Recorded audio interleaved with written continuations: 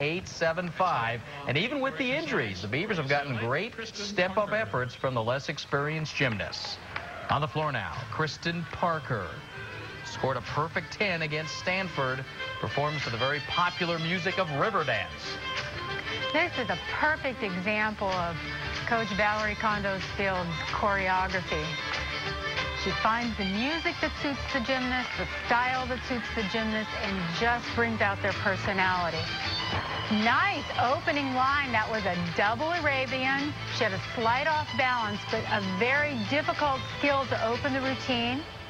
It's an E skill. That's the most difficult that the gymnast can do, and it earns her two-tenths of bonus.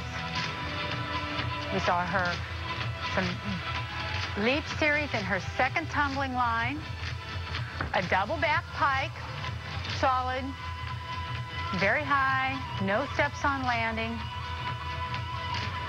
There's some turning jumps. An interesting choreography. And just watch and enjoy the music, turning leaps. You see that the gymnast must use the entire floor exercise mat, all four corners, all sides.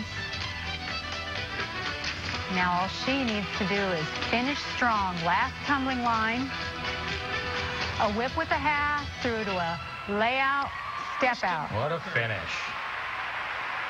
Very solid routine from Kristin. She had a couple of little leg breaks, a little bit off balance on her first tumbling series, but overall, this routine fits her. I really like the choreography for Kristin. Suits her style. There's her Arabian, two saltos. You see a big step back, but she recovers. Al Parker, second team All-American in the all-around, is a fresh